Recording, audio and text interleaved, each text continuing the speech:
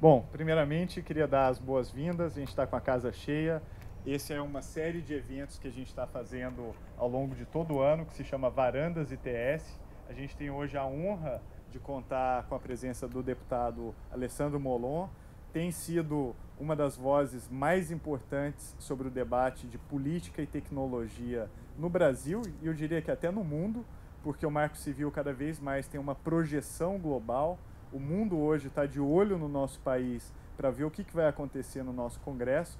Então, é muito impressionante a atenção por parte do New York Times, Wall Street Journal, Reuters, Foreign Affairs. Está todo mundo realmente de olho no que está acontecendo no Brasil com relação ao marco civil.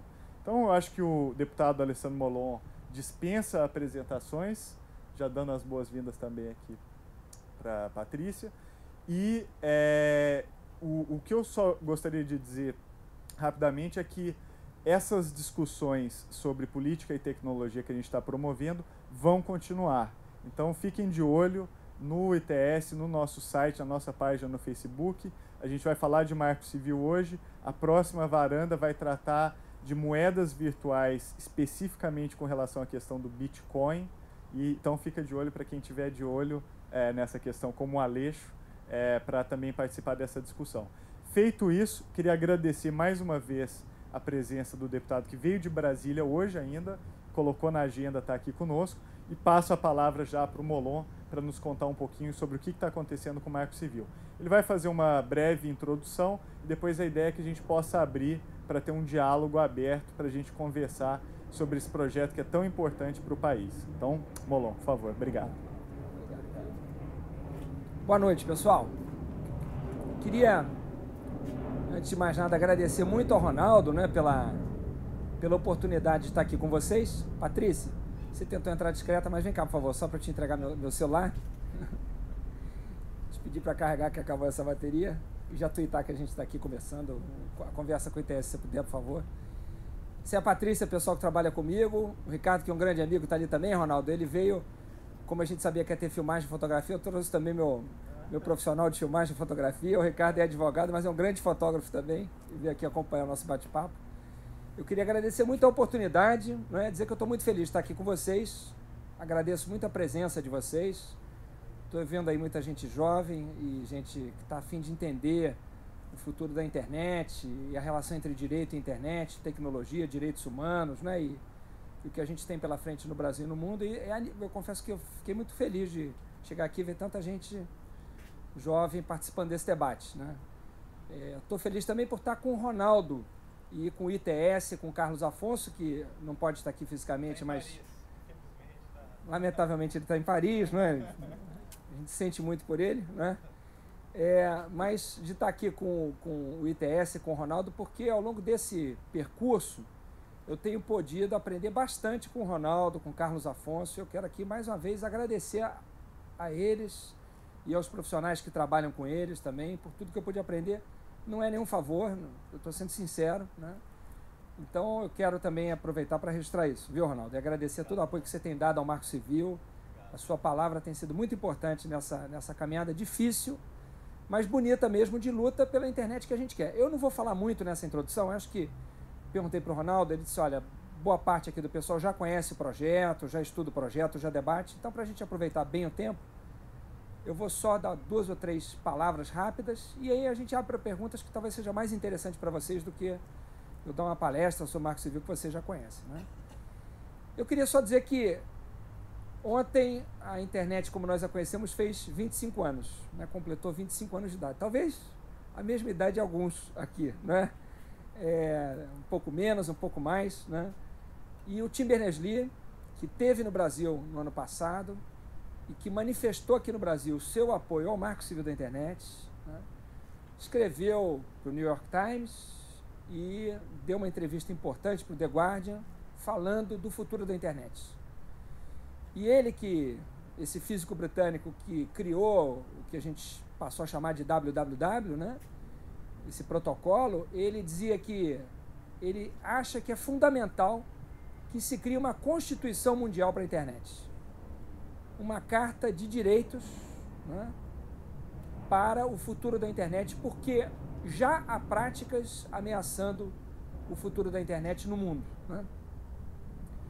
Lá no Congresso, uma das coisas que a gente ouve contra o Marco Civil, que é um discurso que à primeira vista parece bonito, é de que a internet deve ser livre. Para que regular uma coisa que nasceu livre e que deve ser livre? Nada de lei para a internet. Né? E eu respondo normalmente com uma entrevista que o Tim Berners-Lee deu alguns anos atrás, respondendo exatamente essa questão. Ele disse: muita gente diz que, como eu criei a internet sem precisar de lei, que ela deve continuar existindo sem lei. E ele mesmo responde: bobagem. Né? Hoje em dia, há uma série de condutas e de práticas que colocam em risco a essência da internet. Uma rede aberta, livre, democrática, aberta à inovação, né? e é isso que a gente quer que a internet continue sendo. Sobretudo pelos riscos à neutralidade da rede. Né?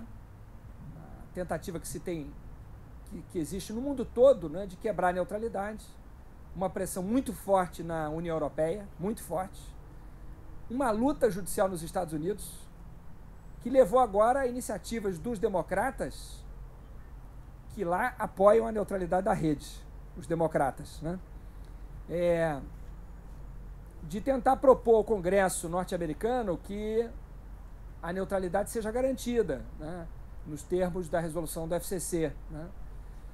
Então é uma luta difícil que a gente tem tido aqui, mas que está alinhada com o que parece ser o desafio da, da regulação sobre a internet no mundo inteiro. Né?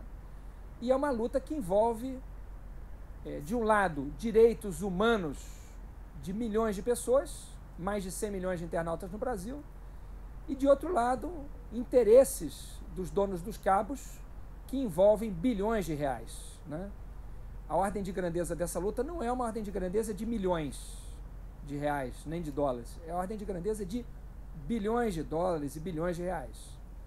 Prova disso foi uma matéria publicada no Globo de domingo que mostrou o tamanho da remessa de lucros desse, desses provedores de conexão para suas matrizes fora do Brasil. Só uma delas remeteu no ano passado 13 bi. Né? Enquanto isso, dizem que se a neutralidade da rede for garantida, é impossível investir em infraestrutura, porque os lucros estão muito apertados. Né? Esse é o argumento contra a neutralidade da rede. Né? Garanti-la significa exigir dos provedores de conexão um investimento que eles não têm capacidade de suportar. Os números mostram o contrário. Né?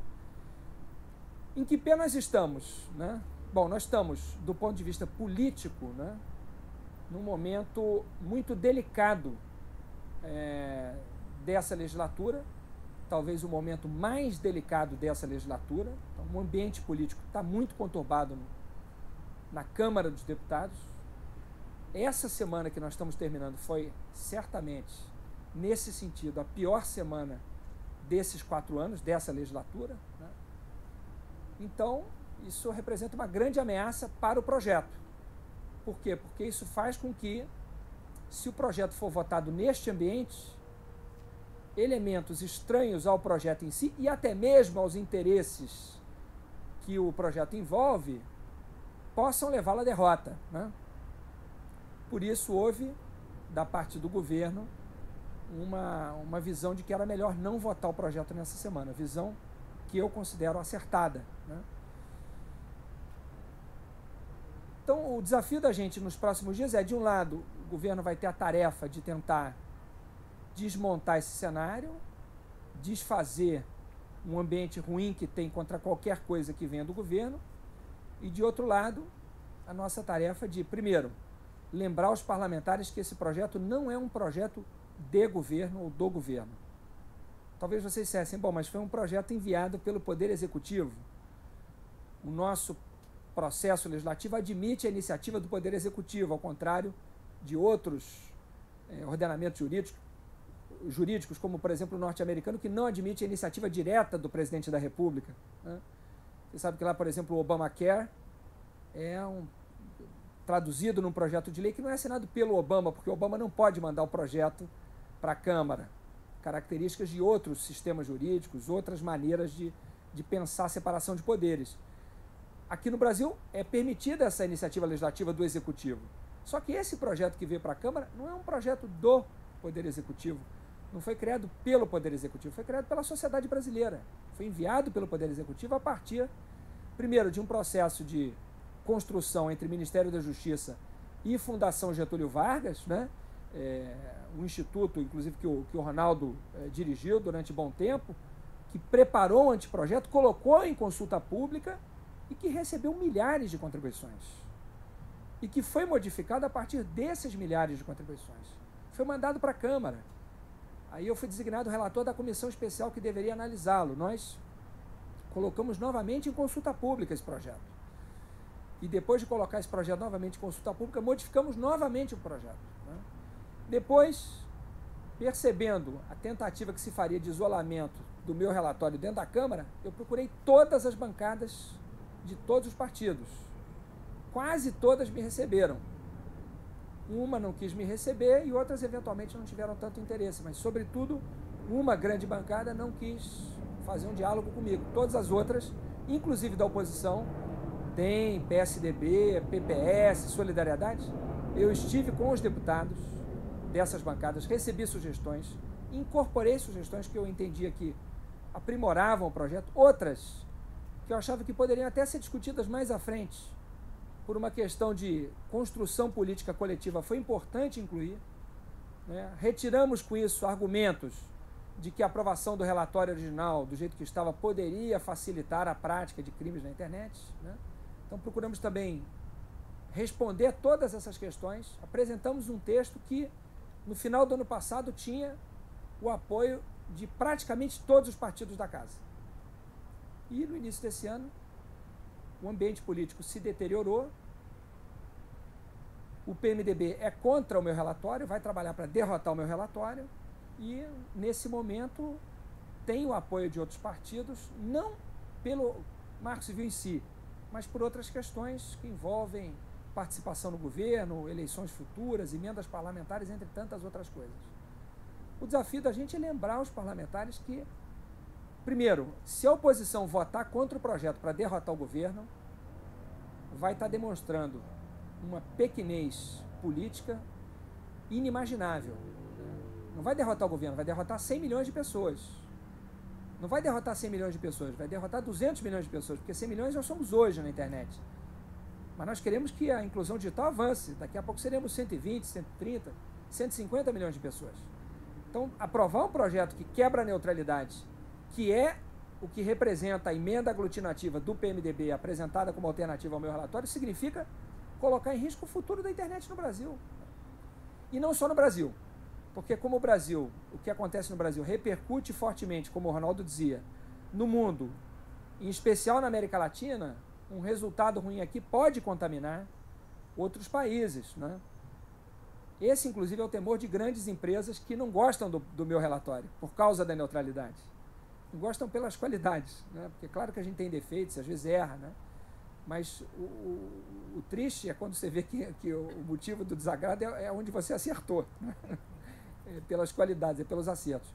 Então, a, a, preocupação também com a aprovação do nosso relatório é que a neutralidade se fortaleça no mundo todo, na América Latina, que isso repercuta na Europa, nos próprios Estados Unidos, porque que está acontecendo aqui hoje está repercutindo fora, em especial nesse campo da internet. Né? Então esse é o momento que a gente está vivendo. Né? Quase foi votado essa semana, felizmente não foi votado essa semana, por esse motivo. Né? Há pouco eu vinha para cá dando uma entrevista pelo telefone e a repórter dizia, então a ideia é protelar? Não, a ideia não é protelar, a ideia é votar. A gente quer votar desde o início. Né?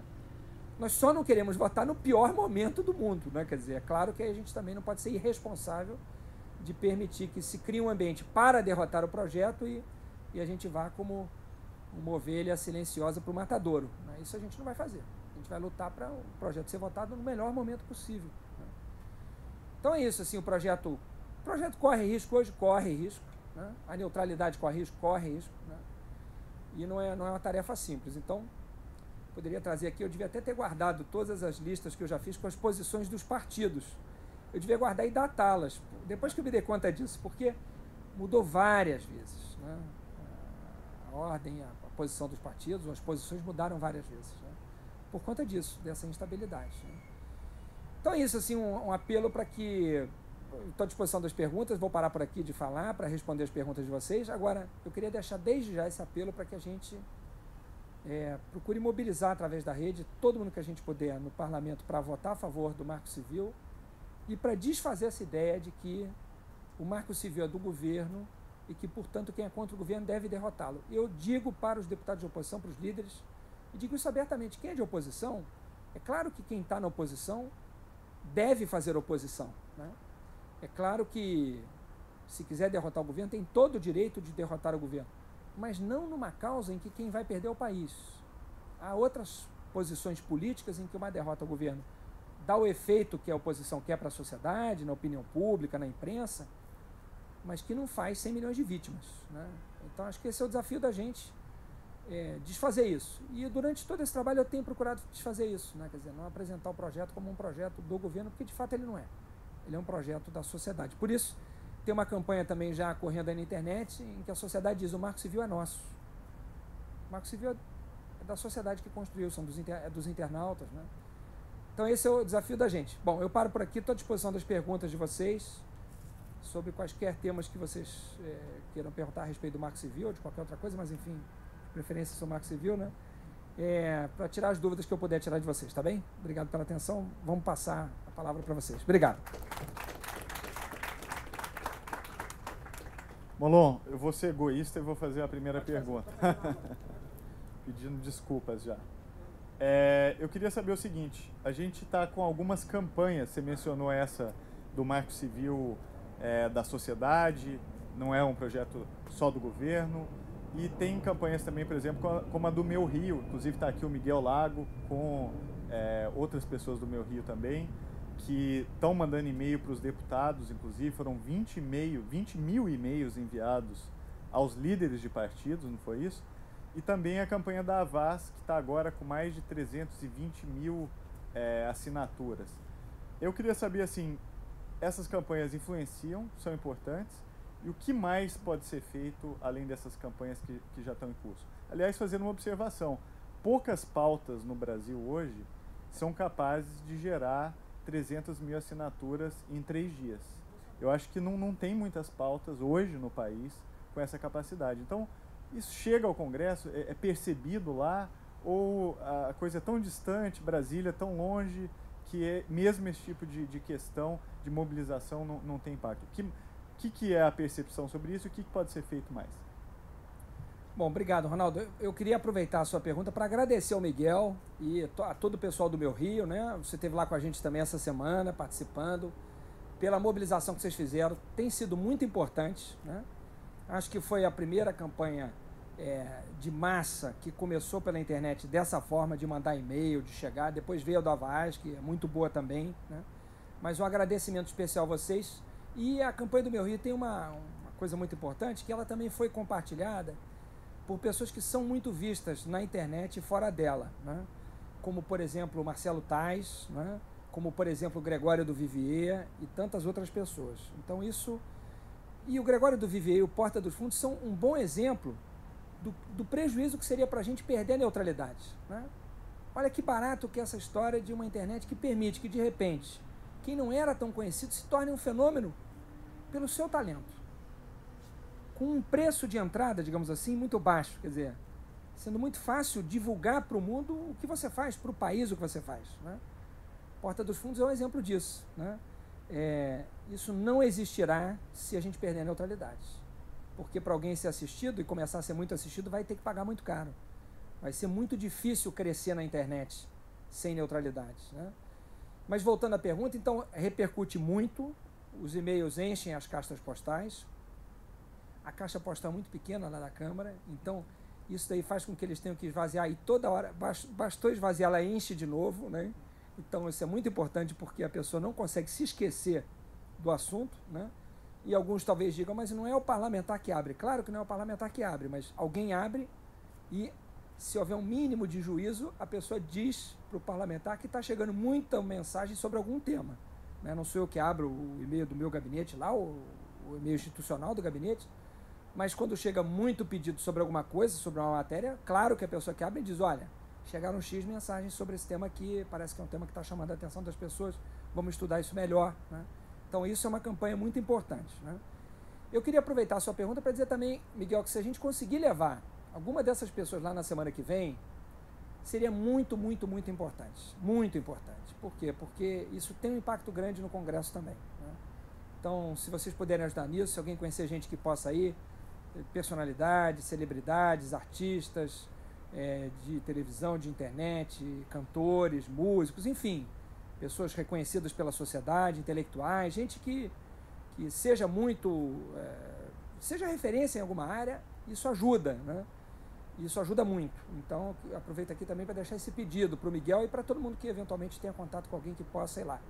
Nós falamos com o pessoal da Vaz, pedindo se eles poderiam, por exemplo, pedir para o Gil ir lá. Né? O Gil assina o e-mail é, que o pessoal da Vaz é, assinou e multiplicou, né? Então, se o Gil puder ir lá, para a gente vai ser importante. E tantas outras pessoas, o Rafinha Bastos também, é, do, do CQC, está retuitando, está apoiando o Marco Civil. A gente está querendo ver se leva é, pessoas que possam ajudar nesse corpo a corpo com os líderes. Né? E queremos, gostaríamos de levar também as, as assinaturas. Né? Então, se a gente conseguir imprimir, claro que a gente pode fazer isso em Brasília, para vocês não levarem daqui as assinaturas de avião, né? É, as 20 mil assinaturas né, do, do Meu Rio, as assinaturas do Avaz também, e mostrar fisicamente para as pessoas o que, que significa isso, né?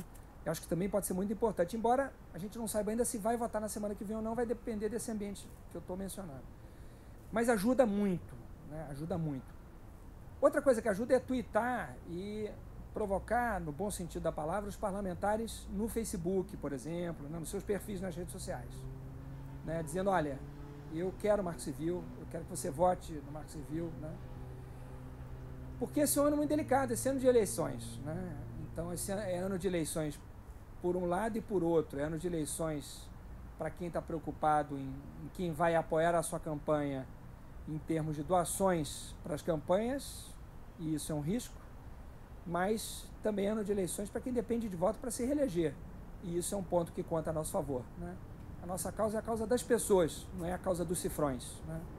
Então isso coloca desafios por um lado, mas também coloca uma força por outro, que é essa força da sociedade, que quando se faz ouvir, vem separada. Né? O voto secreto acabou no Congresso por conta das manifestações do ano passado, que aliás também só foram possíveis naquele volume por causa da internet. Né? Então, assim, no fundo, o Marco Civil é, é tão importante, né, Ronaldo? A gente sempre conversou sobre isso, porque o futuro da democracia vai passar pela internet. Então, o Marco Civil é importante para a democracia do país da gente, né? Quer dizer, é um negócio muito grande. Né? Não pode estar submetido aos interesses financeiros de uns poucos aí que querem controlar isso para aumentar os, os valores das suas ações no fim do ano, né? Então isso ajuda muito esse tipo de ação e quem puder também pelo Twitter, pelo Facebook, cutucar, digamos assim, os, os parlamentares dizendo, ó, Marco Civil, por favor, né? ajuda bastante. Né? Ajuda também, ajuda muito também as boas entrevistas na, na televisão. As pessoas explicam que aquilo é correto, né? Porque sendo uma coisa técnica, é, o meu testemunho é sempre um testemunho de alguma, de alguma forma é, posicionado, né? Quer dizer, toda vez que eu explico e que eu digo alguma coisa, as pessoas ouvem, mas ouvem houve um relator da matéria. Quando um professor, um pesquisador, né? Não fica de pé que eu vou te devolver o microfone, eu estou falando de você mesmo, né? É, não, não, é de você mesmo. É, explica que não, que, que, que, por exemplo, a regulamentação das exceções da neutralidade, quando se coloca que é por decreto, não é para permitir interferência do governo na internet, ao contrário, isso foi um pedido da sociedade civil para tirar da Anatel essa regulamentação, é isso. Né? Então, quando se diz, não, é bem intencionado, não é mal intencionado, né?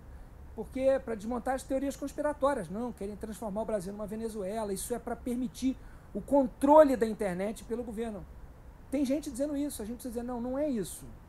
É por isso, por isso, por isso. Né? Como a gente não tem nada a esconder, né? a gente não está fazendo nada de escuso, quanto mais debate, mais explicação, mais clareza, melhor. E aí, agradecer também a sua posição pública em defesa do projeto e as explicações que você vem dando. Né? Obrigado, Molon. É, bom, agora sim, não vou ser mais egoísta, vou abrir para perguntas. Gustavo, depois. Oi, deputado Molon, boa noite. Eu sou Gustavo do Instituto Igarapé. É, eu tenho duas perguntas, mas vou fazer uma, aí o senhor pode responder. Se eu tiver tempo, eu faço outra só para. Pode fazer direto? Tá. Uh, bom, a primeira que eu queria falar é quais são as suas expectativas para o evento NET Mundial de alto nível que vai acontecer em São Paulo em abril. Uh, isso em dois possíveis cenários, um com aprovação do Marco Civil e outro sem aprovação. Qual vai ser isso? Qual vai ser o impacto disso na imagem do Brasil para o mundo? E a segunda, que é um, um pouquinho mais uma questão um pouquinho mais cabeluda, que é com relação ao Marco Civil do jeito que ele vem sendo que ele vem sendo desenvolvido que o caso Snowden ele trouxe questões técnicas e políticas de segurança cibernética para o Marco Civil, que não era uma questão muito aparente, né, inicialmente, né, e por ser um projeto de lei com maior visibilidade, que tratava sobre governança da internet. Uh, só que aí eu queria saber, dentro do Congresso, como que andam as discussões sobre segurança e defesa cibernética para o Brasil de um jeito mais amplo? Porque só espionagem, proteção de dados não é todo o espectro, não, não, não não é coberto, não cobre todo o espectro né, de ameaças cibernéticas e nem medidas que podem ser feitas para mitigar os riscos. Então eu queria saber qual que é a visão do Congresso sobre isso, que o Brasil não tem ainda uma estratégia ampla nacional sobre segurança e defesa cibernética e a articulação com os atores implicados, o Ministério da Defesa, a DECIC, a, a BIM, o Centro de Defesa Cibernética do Exército, enfim, essas são as suas perguntas. Bom, Gustavo, primeiro em relação à primeira, é, realmente, assim, o que vai ser o evento aqui em abril e a participação do Brasil, a liderança que o Brasil pode exercer nele, depende muito da aprovação do Marco Civil ou não. Na verdade, eu queria acrescentar um terceiro cenário mais sombrio aos dois que você fez. Né? Você perguntou com aprovação e sem aprovação. Tem um cenário pior que é com a aprovação de um anti-marco civil, que é a emenda aglutinativa do líder do PMDB, né? que legaliza a quebra da neutralidade. Então, o cenário ideal é a gente aprovar o Marco Civil com neutralidade. Um cenário que não é o ideal é não, ter vota, não termos votado até lá o Marco Civil, né? ele ainda não ter sido aprovado, que não é o, o ideal, mas não é o pior dos mundos, e o pior dos mundos que é aprovar um projeto na Câmara que quebre a neutralidade, porque é isso que a emenda aglutinativa número 1 um faz. Né? Cria a, regras que permitem legalmente a quebra da neutralidade. Aí mesmo que, por exemplo, a Anatel quisesse garantir a neutralidade, não poderia, porque nós vamos ter em lei a previsão de quebra de neutralidade, a permissão. Né? Eu acho que, por outro lado, quer dizer, a própria entrevista do, do Tim Berners-Lee lá no The Guardian vem apontando na direção de uma governança mundial da internet mais equilibrada, multiparticipativa, tanto, de vários, tanto do ponto de vista dos países quanto dos atores que atuam na internet. Bastante parecido com o que a gente vê aqui no Brasil é, que é o CGI.br. Né? O CGI é um exemplo de, de uma boa prática de governança da internet, né? um exemplo para o Brasil e para o mundo do que pode ser feito em termos de é, multiparticipação, né? de, de, de, de múltiplos atores que ajudam a pensar a governança da internet. Um desses elementos é, portanto, uma internet menos americana e mais mundial. Né? Eu acho que esse pode ser um resultado.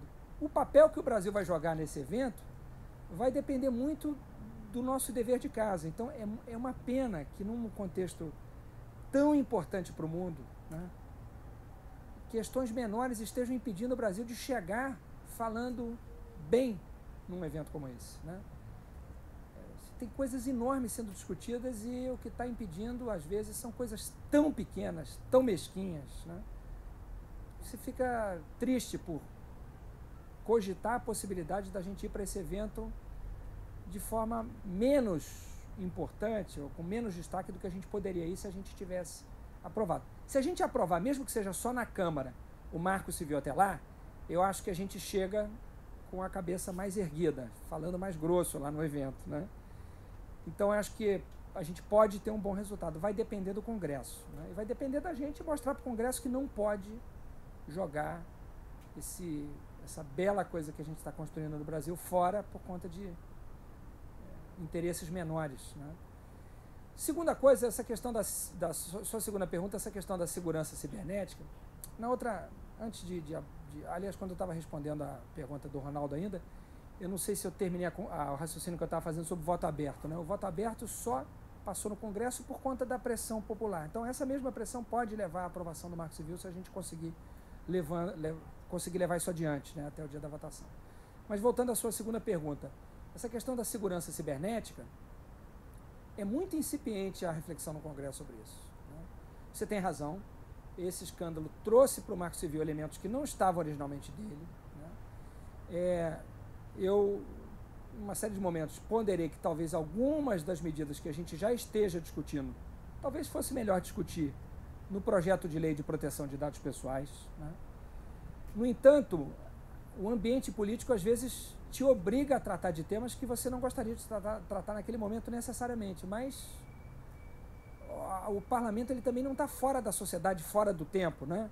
Outro exemplo disso é o artigo que prevê a remoção de conteúdo de pornografia de vingança, cuja redação nós estamos aperfeiçoando. Né? É, foi feita uma sugestão de modificação que me parece mais do que razoável para evitar que quem não tenha sido vítima da pornografia de vingança não possa representar pela retirada do material, a não ser que seja representante legal da vítima. Essa que foi sempre a nossa intenção. Né? Mas por que esse artigo entra? Entra porque duas meninas se mataram uh, no fim do ano passado. Uma menina de 17 e outra de 16 anos. Né? É inevitável que, diante disso, a bancada feminina no Congresso, por exemplo, peça alguma coisa rápida sobre isso. Né? Então, aproveito também para tocar nesse assunto, porque eu sei que esse é um assunto que alguns se perguntaram sobre a conveniência de tratar disso ali. Bom, realmente não tinha sido pensado. Né? É, talvez pudéssemos tratar disso tudo em outro momento, mas a realidade vai te obrigando a responder. Né? E se vocês me perguntarem, bom, e se o Marco Civil ficar mais seis meses lá sem ser votado? Talvez outros assuntos se imponham, né? porque a realidade vai mudando e, e as perguntas vão sendo feitas, os parlamentares vão pedindo, mas e esse caso? Né? Não é como responder, não, isso a gente não trata porque a gente começou a falar disso antes. Daqui a dois anos a gente vai tratar disso. Não é possível responder dessa forma. Né? Então, é, de fato, esse, esse assunto entrou. O ideal é que não tivesse entrado, mas você tem toda a razão, não basta discutir armazenamento de dados. Né? Vai muito além disso, né? quer dizer, vai dos roteadores que a gente usa ao software que é usado. Né? Eu relato um projeto que está na CCJ da Câmara e que a gente não avançou ainda por conta do Marco Civil, para não misturar os debates, que é um projeto que aponta na direção do uso preferencial de software aberto, né, de código aberto, no poder público. Né? E a gente fica impressionado ao ver, sobretudo, a reação das pessoas quando a gente diz: olha, a gente quer usar software de fonte aberta para não usar software proprietário, da mesma forma que a Casa Branca não usa, o Pentágono não usa, a CIA não usa. Aí todo mundo toma um susto. Não, mas não é da empresa A, B ou C, né, que são americanas? Não, não é. Né? Justamente por causa dos riscos, da, das backdoors assim por diante. Né? Então, só para citar um exemplo, isso é uma discussão incipiente no Brasil ainda, a gente está atrasado nessa discussão. Né? Tinha mais duas perguntas. Eu vou pedir para fazer a sua e depois já passar para a Ana também. Vamos pegar, vamos pegar, vamos pegar duas perguntas. Deputado, primeiro, muito obrigado, não só não, todo o trabalho que você já vem fazendo em muitos temas e principalmente nesse aí do marco é, legal da internet. Quando você estava comentando, você usou sempre é, a oposição ao governo. E, infelizmente, né, é o PMDB que não é nem oposição. Está dentro do governo, né, tem uma vice-presidência, então é, é, até como a gente né, se refere ali ao PMDB, que é, hoje em dia é uma caixa de surpresas. E aí uma das perguntas era essa, assim, a gente sabe que o PMDB está muito dividido. Não, o PMDB do Rio especificamente. Até que ponto a discussão é, do marco civil com as divisões do PMDB, principalmente a relação do PMDB aqui no Rio, pesa é, não, na posição que o PMDB está tendo? Essa é uma pergunta. E a segunda é a posição do movimento sindical. Eles se engajaram estão se engajando, é, estão apoiando ou não? Queria agradecer as perguntas, agradecer também as palavras sobre o trabalho e também cumprimentar pelo seu trabalho que a gente acompanha e respeita muito também, viu? Eu queria, eu queria é, dizer o seguinte, primeiro em relação à oposição, você tem toda a razão, né? É, o problema é que o PMDB sempre foi oposição ao projeto, mesmo antes da, crise política ter se aprofundado, ao projeto, o líder do PMDB sempre foi oposição. Né? Ele nunca cogitou apoiar o projeto. E a questão é muito clara. O problema aí é neutralidade. Né? Então, esse, essa divisão eu considero insuperável. Porque não há meia neutralidade. Né? Tem certas coisas que não têm gradação. Né? Tem coisas que existem meio, um pouco, muito. Né? Tem outras que ou tem ou não tem. Né? A neutralidade, a meu ver, me corrija aí o Ronaldo se eu estiver errado, ou, ou, quem estuda isso também, mas a meu ver a neutralidade não, não, não admite eh, gradação. O líder do PMDB é contra a neutralidade, do jeito que ela está colocada. Ele até diz que é a favor, mas diz, mas desde que haja algumas exceções. Mas as exceções acabam com, a, com o conceito original. Não são exceções é, como as que estão colocadas no projeto, que não tem motivação, por exemplo, comercial. Né? O Globo, infelizmente, fez uma matéria confusa na segunda-feira que deixou muita gente confusa, dizendo, mas tem brecha neutralidade no projeto? O que é que passa na frente do quê? Não, para quem não, conhece o conceito, me desculpe aqueles que já entendem se eu for repetir, ficar chato para quem já conhece muito, mas assim, é claro que a neutralidade não quer dizer que você vai tratar todo e qualquer pacote de dados da mesma forma independente de qualquer coisa, porque isso inviabiliza o funcionamento da internet como nós a queremos. Né? Apenas para citar um exemplo, se nós estivéssemos transmitindo essa sessão aqui ao vivo, né? a gente estaria fazendo um streaming daqui, não é isso? Bom, faz sentido que essa transmissão, que é transmitida por pacotes de dados, seja priorizada em relação a um e-mail, quer dizer, um e-mail chegar 0,2 segundos depois faz diferença? Não, não faz diferença. Em princípio, não faz diferença. Né? Uma transmissão ao vivo ser interrompida a cada 0,2 segundos faz diferença? Faz diferença. Você inviabiliza a transmissão ao vivo. Então, isso, de alguma maneira, você está priorizando transmissão ao vivo em detrimento de e-mail? Sim, você está. Essa é, esse é um exemplo da primeira exceção que está descrita no inciso 1 do parágrafo 1 do artigo 9 do projeto. É admitida a discriminação de tráfego em função de requisitos técnicos indispensáveis à boa prestação dos serviços.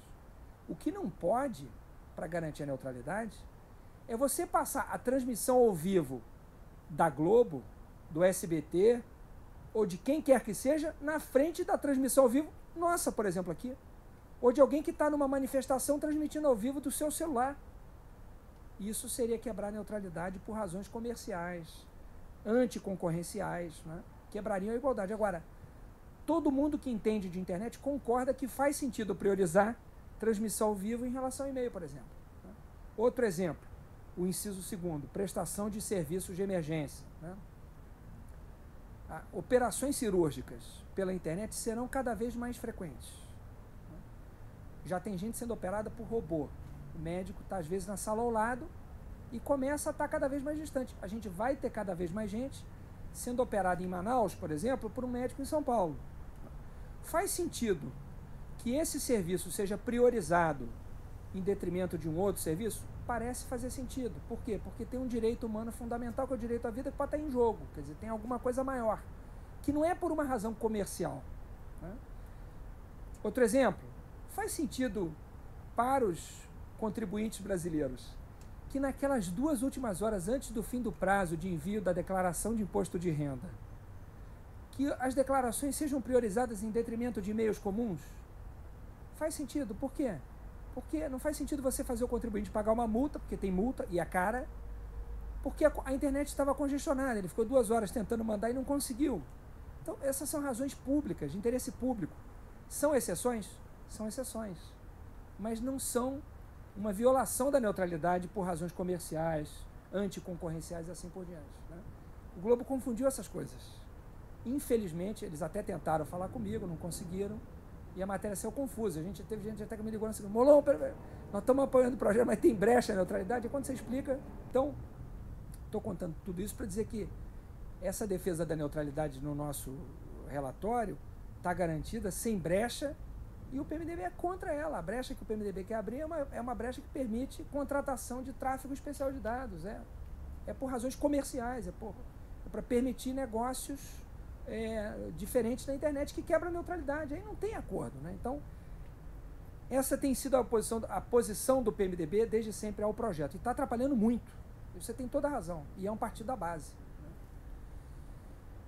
Está né? levando outros partidos da base a cogitarem votar contra o projeto por outras questões. Aí já não é o projeto. Aí é espaço no governo, é, a relação com o governo e assim por diante. Então, nosso trabalho tem que se dizer: pelo amor de Deus, não vote contra este projeto por isso. Né? E com a oposição, por que, que eu me referi à oposição? Porque nós tínhamos conseguido construir um entendimento com a oposição que isolava essa posição do PMDB contra o projeto. Porque o PMDB sozinho não consegue impedir a aprovação. Mas para isso precisa estar a base unida e se tiver o apoio da oposição, ninguém segura. Mas a oposição, e eu digo isso porque eles me disseram, disse assim, olha, irmão, nada contra o teu relatório, ele está ótimo, a gente entende, mas agora a questão virou política, é ano eleitoral, para a gente é importante derrotar presidente, então a gente talvez vote contra. É isso que não dá, entende? Quer dizer, claro que a posição do PMDB é muito pior, né? Mas essa também não pode acontecer, porque senão a gente vai derrotar o projeto, vai ver o projeto perder e quem perde é o Brasil, né? Mas a sua pergunta tem total procedência, isso que está acontecendo mesmo está muito difícil. Né? O governo está se reunindo com todos os partidos ontem, hoje, amanhã, e vai continuar fazendo isso até a semana que vem. E pode ser que chegue terça-feira e a gente sinta que tem clima para votar, e pode ser que chegue terça-feira e sinta que não tem clima para votar. Você tinha feito outra pergunta, eu me esqueci agora. Ah. Não, das sindicais. Ah, dos sindicais. Bom, os sindicatos estão apoiando, assim, as entidades apoiam, mas acho que podem fazer muito mais. Né? Então, por exemplo, alguns estão me chamando agora para debates. Né? É, são a favor, não são contra, mas eu acho que podiam empurrar mais para frente o projeto. Né? Eu estou fazendo esse trabalho e se vocês puderem ajudar nisso também, pedir que os sindicatos ajudem, né? É uma força importante também, que é um setor organizado da sociedade que pode ajudar bastante. Né? Tá bom? Vou pedir para fazer a pergunta aqui, porque o nosso cabo não é tão longo. Então, se a pessoa puder vir até aqui, seria ótimo. Temos duas. Vamos pegar as duas. O Dirceu está um tempão, faz a sua primeiro, depois eu passo para o Leandro. Vamos lá. Não, fica, fica aí, fica aí, já pega a próxima. Ô, Alessandra, a minha é rápida, tudo bem. Não é fácil também, não tem de ser. ser é, é, é uma pergunta que eu quase sempre repiso com você. Ela eu sei que eu até praticamente sei. Só quero ter certeza que, eu que, que não houve muita mudança, né? É sempre questão da proteção dos dados pessoais, que acabou entrando, no, de um certo modo, entrou no, no, no, debate do Marco Civil. E a minha dúvida é se dentro desse debate político, onde hoje me parece bastante claro que é, se tornou uma discussão política, além de ser uma discussão comercial, que me parece, posso estar enganado, mas parece claramente, a não ser que existam outros entes envolvidos, mas parece claramente que é o interesse de empresas de telefonia, provedores de acesso tenham através de alguns partidos políticos, conseguido disseminar essa, é, essa visão de que isso teria um modelo de negócio não atrativo para eles, que haveria uma outra possibilidade de lucro. Posso estar enganado, não sei se essa visão é correta, mas volto a, a indagar se existe hoje, se, se desde a da última versão do marco até agora, se o debate de proteção de dado pessoal foi levantado novamente, se chegou a ser realmente cogitado de deixar realmente isso para lá para o anteprojeto de dados pessoais, ou se aquela parte que estava sendo é, anexada tende a continuar. Quer dizer, que o Marco Civil irá trazer um pouquinho de, do arcabouço de dados pessoais e provisoriamente até que o anteprojeto seja mais debatido. Essa aqui é a minha dúvida, agradecendo mais uma vez a Alessandro. Na verdade, são duas perguntas, acho que uma é meio fácil, que até eu estava conversando. Bom, só apresentar, sou Leandro Dancini. É, eu estava falando outro dia com o Pedro Marcum, da, da Transparência Hacker, e aí eu questionei sobre essa questão se a gente sabe quem é quem no marco civil, se tem, é, se a gente sabe exatamente quem estava a favor, quem deixou de estar a favor, como, porquê, se tem isso tudo. E aí ele me mandou a planilha dele e mesmo não tinha nada. Tinham duas pessoas é, é, que discordavam e parou por aí. Ele mesmo admitiu que isso nunca foi feito. E eu queria saber se você sabe disso, você tem isso registrado de alguma forma, se pode tornar isso público de alguma maneira, divulgar até na transparência. E outra coisa é. Bom, acho que aqui a gente está tá, tá falando muito da questão do, da pressão das teles, é, que é muito clara, e obviamente indo para a Anatel, já a captura da Anatel, assim, tipo, é uma coisa até que, para a gente de agência reguladora, é uma coisa que a gente fica né? É um pouco vergonhoso, só, enfim, só tem uma que é pior. E aí a minha pergunta é, é tudo bem, a gente existem esses, esses players, mas e os geradores de conteúdo da internet, principalmente os estrangeiros, tipo, não existe, não existiu ainda manifestação do Google, do Netflix, de Spotify que seja, assim, se, se teve, qual foi, se não, qual, como é que eles poderiam fazer isso? Que eu acredito que eles são a favor da, da neutralidade. Bom, muito obrigado. Vou responder primeiro ao, Dirceu, depois ao Leandro, seguindo a ordem então. Então, Dirceu, primeiro em relação à questão de dados pessoais, aquilo que a gente incluiu está mantido. Né? Então, o projeto avança bastante é, na proteção de dados pessoais é, no âmbito da internet, né, por, por razões óbvias. E eu acho que essa foi uma das maiores contribuições que a Câmara dos Deputados está dando ao projeto. Por quê? Porque Primeiro, nós fizemos isso antes do escândalo de espionagem. Isso é que eu acho, primeiro, mais bacana, né? Quer dizer, a gente não começou a tratar dessa questão de proteção de dados eh, depois do, de meados do ano passado. A gente começou a discutir isso lá atrás. Por quê? Porque, primeiro, esse é um debate que eu acho que a gente precisa começar a fazer no Brasil. Acho que o Brasil está atrasado na, na concepção da importância disso, né? É incrível, mas a gente ouve lá no parlamento dizendo, ah, e daí que os americanos bisbilhotam a minha vida, não estou preocupado. Melhor aqueles bisbilhotam que alguém aqui do Brasil. Quer dizer, é uma visão é, tão tacanha, né? Quer dizer, de, de, de privacidade, né? Oi? Não, pois é, o Disseu diz até países como Honduras tem, tem lei de proteção de dados pessoais, aqui não tem, nós não temos nada, né? Então a gente avança nesse sentido. Essa foi uma das razões também de reação dos provedores de conexão, porque nós temos uma forte vedação à guarda de dados de navegação por provedores de conexão, e isso é uma das fontes de receitas que eles têm hoje, né? quer dizer, guardar, analisar e vender a nossa navegação sem que a gente saiba. Tinha uma empresa operando aqui no Brasil que foi proibida de operar na Inglaterra, veio para o Brasil e começou a operar aqui, com dois provedores de conexão gravando, analisando e vendendo a nossa navegação, que sem que sequer a gente saiba, ninguém nunca soube é, que isso estava sendo feito. Né? E estava sendo feito. Então o projeto avança bastante nessa direção, ou seja, haverá muito mais proteção à privacidade a partir da aprovação do Marco Civil. Mas, por incrível que pareça, muita gente ainda não entende a importância disso. Quer dizer, isso também acho que vai ter que ser um processo pedagógico para as pessoas entenderem. Não, isso também é uma proteção para mim importante. Né? Então, quando a gente diz assim, ah, é, guarda a sua navegação, analisam e vendem para marketing dirigido, a pessoa diz, mas eu até gosto de receber algumas propagandas das coisas que eu pesquiso, porque às vezes até vem alguma coisa barata. Não, não é esse o problema, né? Quer dizer, a gente não está.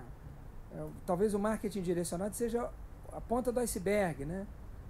Bom, mas talvez daqui a pouco alguém que vai contratar um plano de saúde e que tenha feito antes pesquisa sobre determinada doença vai ter que provar que não tem a doença, senão vai ter que pagar mais caro. Né?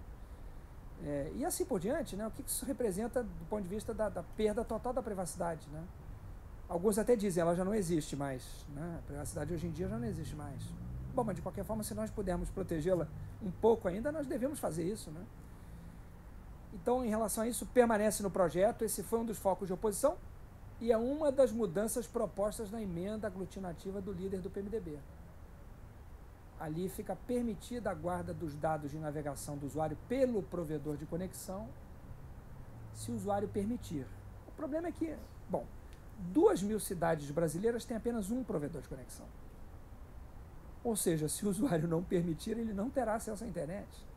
Ou o preço será proibitivo, né? Custa 300 reais sem quebra da sua privacidade, e 150 se você permitir que eu grave tudo que você faz e venda. Né? Que a maioria dos usuários vai ter que fazer? Sim, né? mesmo que seja um opt-in lá, vai ter que botar. Né? Então, é, esse, esse, é um problema, né? é uma das lutas da gente na aprovação do projeto, mas permanece no projeto. Em relação à posição dos provedores de aplicação, eles apoiam o projeto, soltaram manifestações. Né? Naturalmente, como o projeto é, foi sofrendo modificações ao longo da sua tramitação, inclusive para contemplar a visão de vários partidos, né?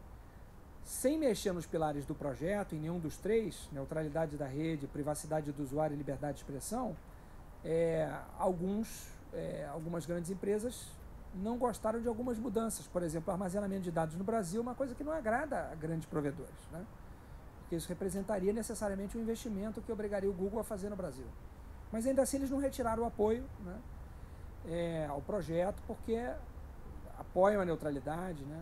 Felizmente, porque em, em, alguns países, alguns grandes provedores de aplicação já começam a celebrar acordos que violam a neutralidade, o que é um perigo, porque daqui a pouco, alguns dos que apoiam a neutralidade podem mudar de lado, podem falar, não, para a gente é melhor negócio não ter neutralidade, porque só nós podemos pagar. Né? E talvez esse seja um grande risco, né?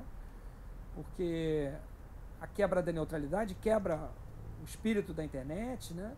quebra esse ambiente até mesmo de negócios, o que para quem já é muito grande talvez não, não fosse tão ruim. Né? Porque você congela ah, o status quo. Né? Então quem é grande permanecerá grande, porque ninguém que é pequeno vai conseguir competir. Né? Esse aqui é o, o, um risco que a gente corre. Mas por hora, felizmente, isso ainda não ocorreu aqui, né? no sentido deles mudarem de lado ou apoiarem outra, outra visão de neutralidade. Apoiam a neutralidade, apoiam o projeto, mas também a própria maneira deles manifestarem isso é diferente da de outros atores. Né? A maneira deles apoiarem o Marco Civil, felizmente até, é diferente da de outros atores. Eu me refiro sobretudo a alguns que são contra o Marco Civil. Né? A maneira de atuar dentro do Congresso é diferente. Né? Então, talvez vocês pensem, bom, tem gigantes de um lado contra o projeto porque são contra a neutralidade, mas pelo menos há gigantes de outro lado que são a favor da neutralidade são gigantes, mas que jogam diferentes. O que depõe até a favor dos gigantes que são a favor da neutralidade. Né? Mas a prática é diferente. Então, nesse sentido, o jogo nem sempre fica equilibrado dentro do Congresso. Né? Miguel. Miguel, se você puder fazer daqui, que o cabo não consegue chegar até aí.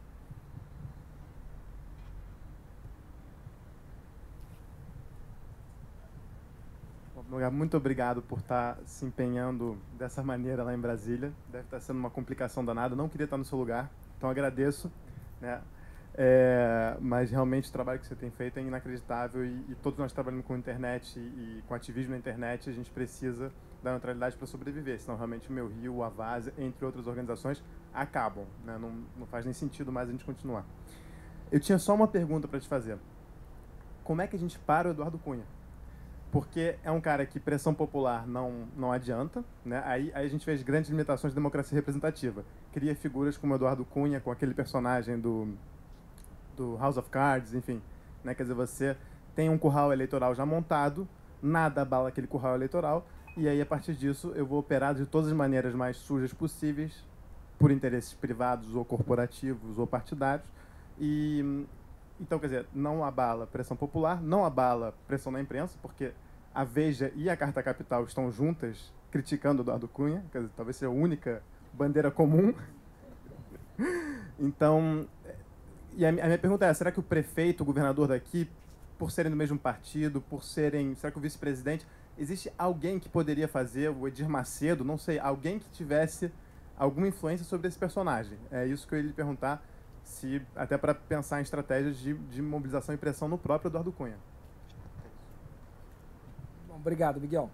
Você falando que não queria estar no meu lugar, há um, tempo atrás, quando a coisa estava até mais calma, meu pai, numa conversa comigo, falou assim: vem cá, num dos momentos turbulentos lá, mas menos do que esse, falou assim: vem cá, quem foi que botou você para relatar esse negócio?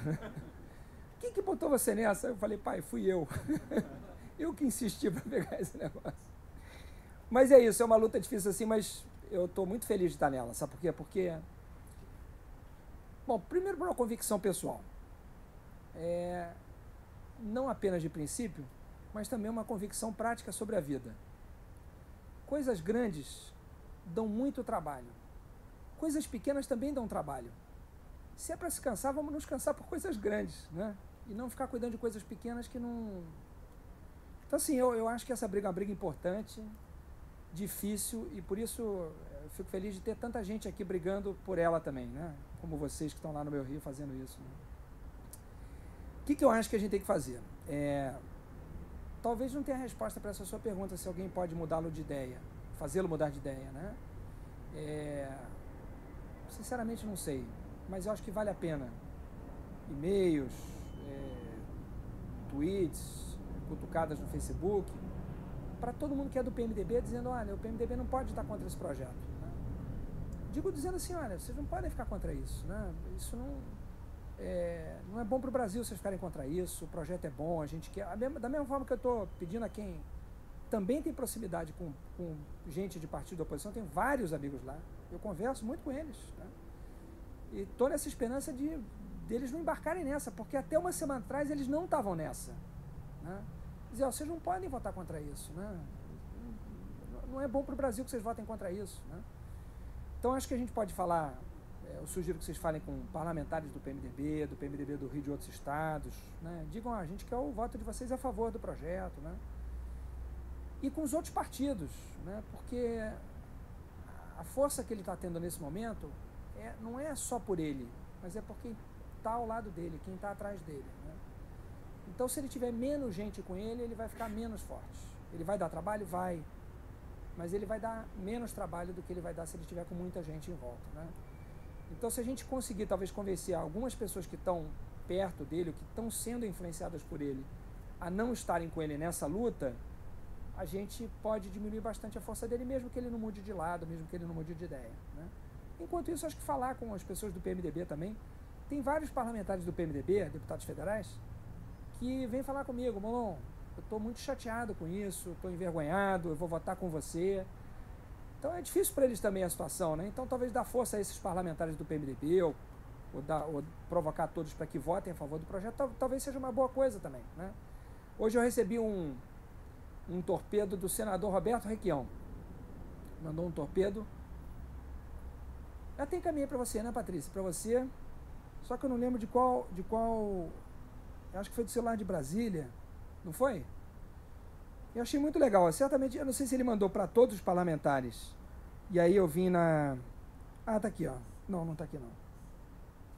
Aqui, obrigado. Ah, ele mandou assim, ó. Eu recebi também, mas eu não sei qual foi a, lista dele, né? Se ele mandou só para os do PMDB e mandou uma cópia para mim, para eu saber, ou se mandou para todos os deputados da casa, não sei como é que foi. Mas ele mandou assim, ó. Rede neutra, liberdade de expressão, democracia e privacidade. Isso é o marco civil da internet. Deputado, não falte para com o Brasil. Senador Requião. Mas é um senador do PMDB que mandou para os deputados, pelo menos do PMDB, certamente ele mandou, o apoio dele ao marco civil. Foi muito legal, né? Então, se a gente puder estimular que outras pessoas do PMDB façam isso, ver, por exemplo, uma pessoa que tem tudo para fazer isso, eu não conversei pessoalmente com ele ainda. O senador Pedro Simon, por exemplo, né? Eu conversei muito com o senador Aloysio Nunes, que é o líder da bancada do PSDB no Senado. Ele apoia a neutralidade. E quando eu percebi que o PSDB estava sendo tentado a mudar de lado, eu procurei o senador Aloysio. Falei, senador, por favor, não deixe a sua bancada sair do lado da gente, não, que é importante o PSDB estar junto. E eu sempre citei muito o Aloysio nas entrevistas que eu dei para desfazer esse negócio, porque eu nunca quis dar ao projeto. Eu sou do PT, mas eu nunca quis tratar o projeto como projeto do PT, porque ele não é do PT, ele é do Brasil, é da sociedade brasileira, né? E o Aloysio sempre foi muito parceiro nisso, o senador Aloysio. Né? Então também as pessoas do PSDB, do DEM, do PPS, do Solidariedade, outros outros partidos da base aí, se vocês puderem ajudar a provocar, é bom, é importante. Né? Então é isso que eu, que eu recomendo. Né?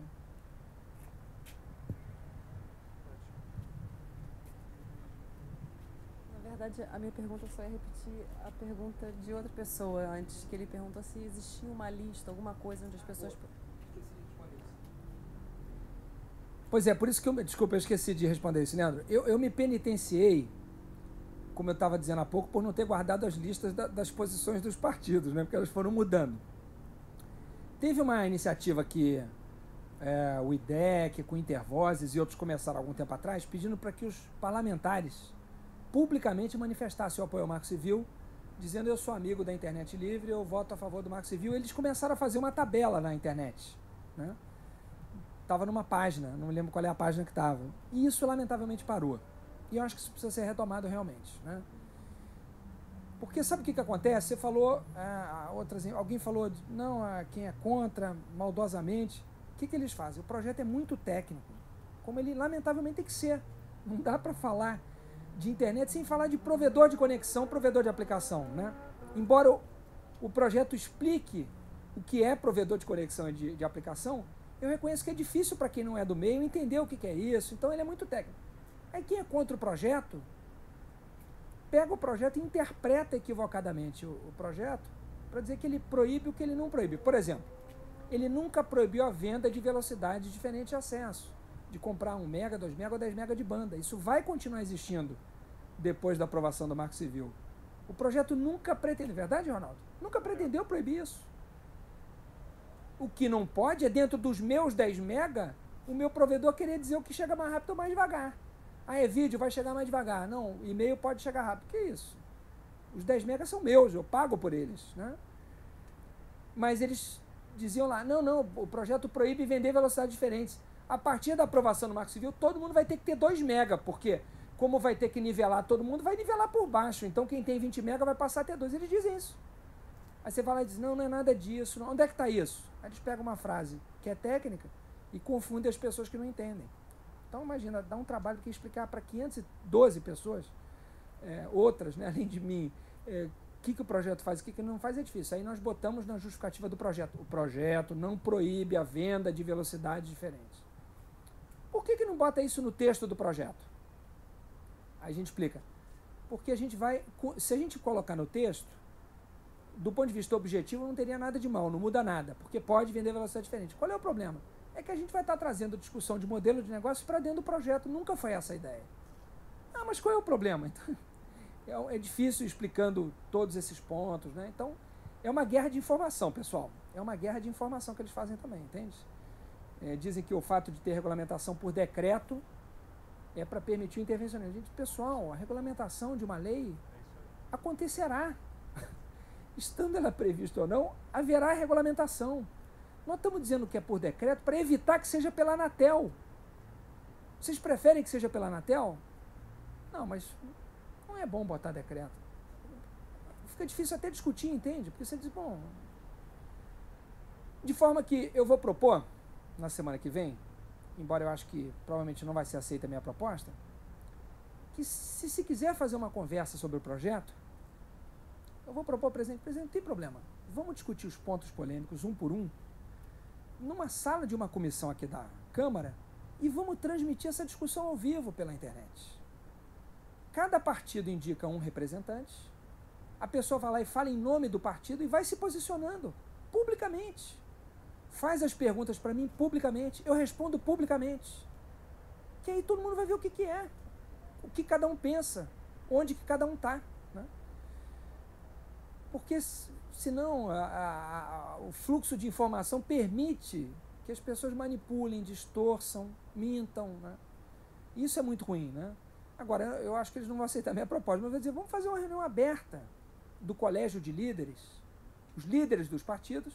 Pode ser na sua sala, presidente, se o senhor quiser. Mas chama, para não chamar todas as TVs, chama a TV Câmara. E chama a, o E-Democracia, que é o portal da Câmara. Transmite ao vivo tudo. O que todo mundo disser. Fica transmitido ao vivo, fica gravado e disponibilizado. Que aí acaba a guerra de informação. Não é? Quem, por exemplo, achar que deve ser a Anatel que regulamente a neutralidade, que diga publicamente.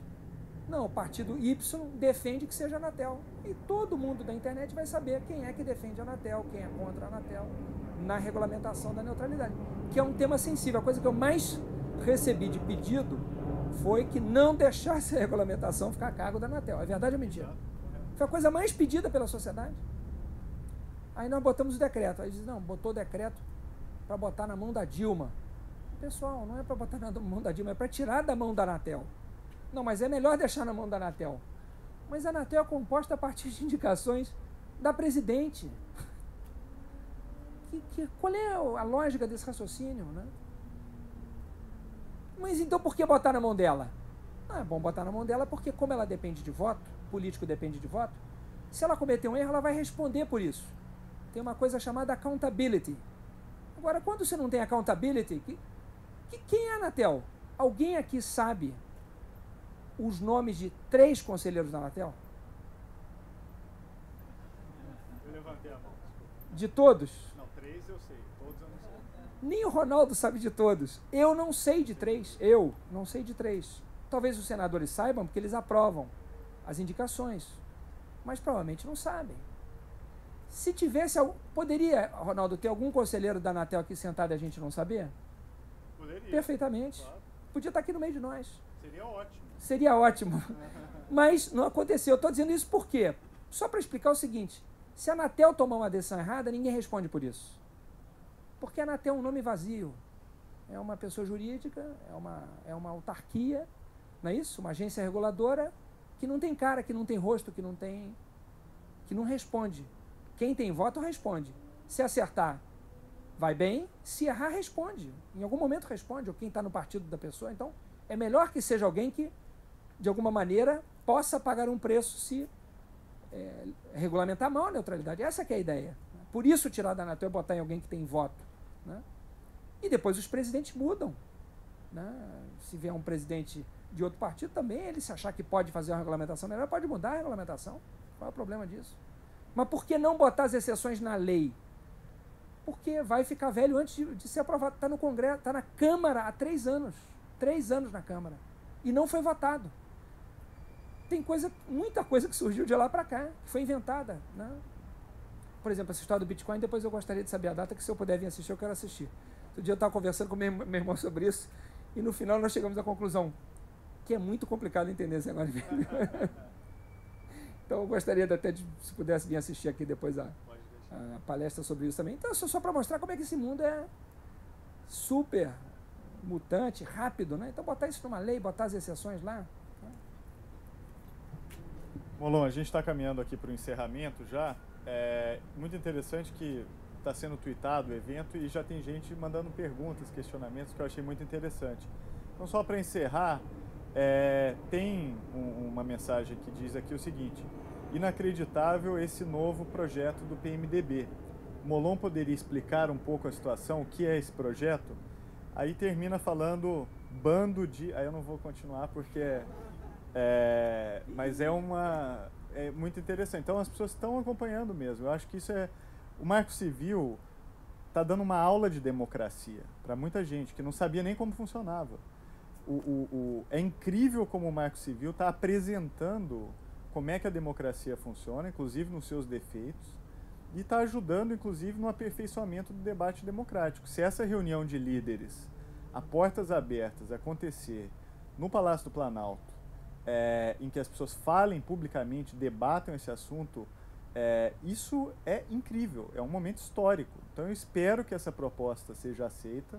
Isso é bom para as instituições, cria um precedente que eu acho que é incrível e eu acho que mostra, escancara ali como é que a democracia funciona. Então, para além de tudo, eu acho que o projeto ele tem um efeito de, de construção institucional que é brilhante. Então, só para, se você puder contar um pouquinho do que está acontecendo, o que, que o PMDB fez e qual é esse novo projeto dele, eu acho que é interessante também para o pessoal saber.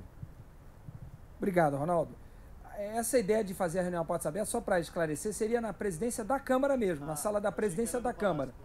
Não, poderia ser, mas a Câmara se sentiria atropelada. Então, façamos na presidência da Câmara mesmo, mas a ideia é essa, transmitida ao vivo, né? Para quem quiser acompanhar, acompanhar, né? Eu acho também que o Marco Civil é um marco no processo legislativo brasileiro e eu diria até mundial. E eu posso elogiar porque não é mérito meu. Eu peguei o projeto quando ele já chegou na Câmara. Mas o processo de construção dele é, é referência, por exemplo, na Europa, em vários países, né? Desde o Partido do Futuro lá do Manuel Castro, que cita o Marco Civil na página do Partido Marco Civil Brasileiro, como exemplo de processo legislativo participativo. Né? Eu acho também que isso vai mudar. E, no fundo, você tem razão, quer dizer, até os problemas que o Marco Civil vem enfrentando servem para jogar luz na Câmara, na, na democracia brasileira, nos seus limites. Né? Eu acho que você tem toda a razão nisso também. Né? Eu vou destacar alguns pontos dessa emenda aglutinativa. No nosso. Quando, quando veio essa história de que o Marco Civil proibiria a venda de velocidades diferentes, para deixar claro que isso não acontecia sem trazer modelo de negócio para dentro do Marco Civil, nós acrescentamos um inciso dizendo que, a princípio do uso da internet no, no Brasil, a liberdade dos modelos de negócios, desde que não conflitem com os princípios estabelecidos neste, nesta lei ou nesse projeto. Né? Por exemplo, a neutralidade. Então, pode ter liberdade de modelo de negócio? Pode. Mas não um modelo de negócio que viole a neutralidade. Ou seja, que diga que você só pode usar os seus 10 MB para e-mail e não para vídeo, por exemplo. Esse modelo de negócio não pode, porque violaria um princípio do projeto que é a neutralidade. Na emenda aglutinativa do líder do PMDB está é princípio do uso da internet no Brasil, a liberdade dos modelos de negócio. Falta só o desde que não conflitem com os princípios do projeto. Ou seja, pode modelo de negócio que viole a neutralidade da rede, por exemplo. Né? Um exemplo de mudança. Outro exemplo, ele prevê que a regulamentação da neutralidade será feita pela Anatel. Explicitamente, ele bota lá, Anatel. Outro exemplo, ele acrescenta um parágrafo 4 ao artigo 9 dizendo que é admitida a contratação de condições especiais de tráfego na internet. Ou seja, ele diz que existe a neutralidade, mas depois diz, mas pode contratar é, uma condição especial de tráfego. Né? Então, seria mais ou menos como a gente dizer que no trânsito todo mundo tem que respeitar a, a fila né? e, e a ordem do, dos carros, mas quem tiver muito dinheiro pode alugar uma sirene, e aí todo mundo tem que abrir para o carro passar. Né? Ou Mercedes, Volvo e BMWs têm direito a uma sirene, porque como pagam IPVA mais caro, eles podem passar na frente de todo mundo. Lamento se você não pode comprar um desses carros, né? você um dia vai chegar. Né? Vai chegar, tenha certeza disso, tenha esperança e paciência que um dia você chega lá. É, e eu poderia citar outros exemplos aqui. Ah, outro exemplo, outra mudança que ele faz é essa possibilidade de guarda de dados de navegação pelos provedores de conexão. Então, só essas quatro mudanças, né? A liberdade de modelo de negócios violando a neutralidade, a regulamentação pela Anatel, a possibilidade de contratação de condições especiais de tráfego e a possibilidade de guarda de dados de navegação pelos provedores de conexão, acho que só isso é ruim o bastante para a gente ter que lutar com todas as forças para evitar que isso seja aprovado. Né? Então, essa é, é a minha esperança. A gente está num momento difícil, mas sinceramente eu tenho esperança de que vai mudar o ambiente daqui para a semana que vem. Vamos apostar na mobilização. Se vocês puderem ajudar a fazer esse mapeamento, quem sabe o, o Meu Rio ou outra iniciativa que eventualmente esteja aqui participando não começa a fazer essa tabela de quem é, diz que vai votar a favor do Marco Civil né, e começa a provocar os parlamentares para se posicionarem publicamente. Talvez isso seja uma medida que a gente possa tomar daqui para lá para criar também um compromisso e ao mesmo tempo um constrangimento para quem não responder, né? Porque quem não responde é, vai recebendo cada vez mais e-mails ou tweets ou não sei o que e vai sendo obrigado a, a tomar uma posição, né? Nós encerramos de perguntas, é isso? Encerramos. Então queria aproveitar só para agradecer a atenção de vocês e pedir todo o apoio aí nessa nessa, nessa próxima etapa. Eu não vou dizer nessa reta final, porque eu não sei se a gente está na reta final, mas enfim, nos próximos passos que vocês possam ajudar a gente, mobilizar e falar com as pessoas. Se tiverem dúvidas, por favor, nos escrevam. Então é isso, ó, mais uma vez ao ITS, muito obrigado, viu, Ronaldo? E a você, ao Carlos Afonso, toda a equipe aí. Meu agradecimento do fundo do coração a vocês todos aí pela, pela paciência e por terem vindo aqui me ouvir, tá? Obrigado.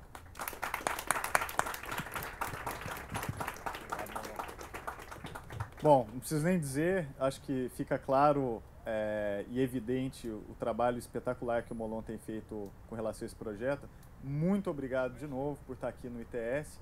A gente vai ajudar, sim, é, pode contar conosco. Aliás, dando boas-vindas aí para o Ricardo, fica à vontade. E acho que esse tema é o que você falou, é o pauta do Brasil mesmo. A gente está. O que está em jogo é o que a gente está pensando sobre o desenvolvimento daqui para as próximas décadas. Então é fundamental que esse projeto seja visto não como uma coisa partidária, governamental, mas uma coisa que é do interesse de longo prazo do Brasil. A gente não pode deixar a agenda de curto prazo é, tomar conta da agenda de longo prazo. Então, nesse sentido, muito bom. Agradeço mais uma vez.